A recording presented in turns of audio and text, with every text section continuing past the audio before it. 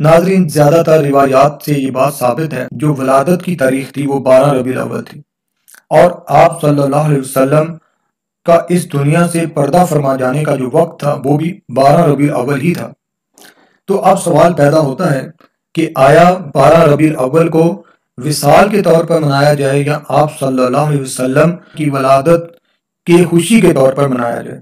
तो इस सिलसिले में याद रखें कि ऐसी बहुत सारी रिवायात मिलती हैं जिनसे ये बात साबित है कि शरीयत जो है किसी के विसाल किसी के इस दुनिया से पर्दा फरमा जाने या किसी की वफात, यानी किसी की वफात पर ज़्यादा से ज़्यादा तीन दिन के शोक का कहती है। यानी ज़्यादा से ज़्यादा जो शोक में रहने की इजाज़त देती है, वो तीन दिन की है। इससे ज़्यादा आप शोक में अपने आप को ना रखें, ये कहती है।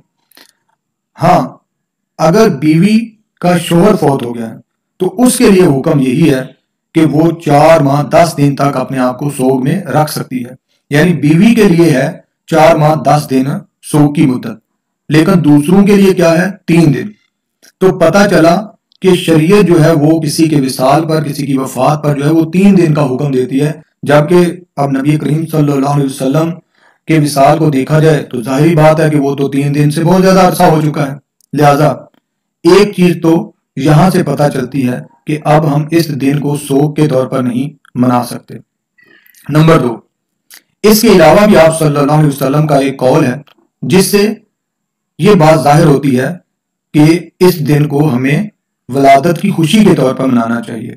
जैसे कि आप सल्लल्लाहु अलैहि वसल्लम ने जुम्मे के दिन को मुसलमानों के लिए ईद का दिन करार दिया है।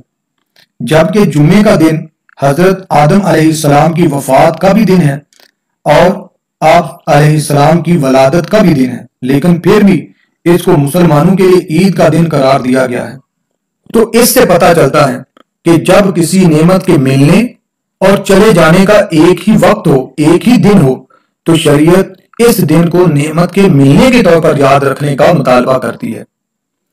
और अब रही बात ताजदार खत्म नबूत सल्लल्लाहु अलैहि वसल्लम की। तो आपका इस दुनिया में रहना और पर्दा फरमा जाना दोनों ही में मुसलमानों के लिए बेहतरी है।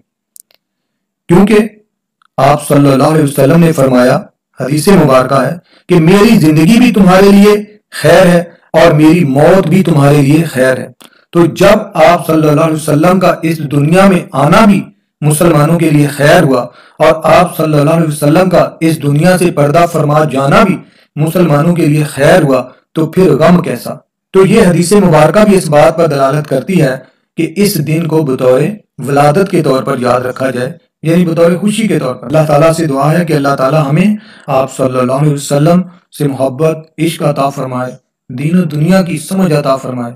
और इस्लामी तालीमत के मुताबिक, हजूर वसल्लम की सुन्नत के मुताबिक, और आपकी इतबा करते हुए ज़िंदगी गुजारने की तोफ़ी अता फरमाए, आमीन।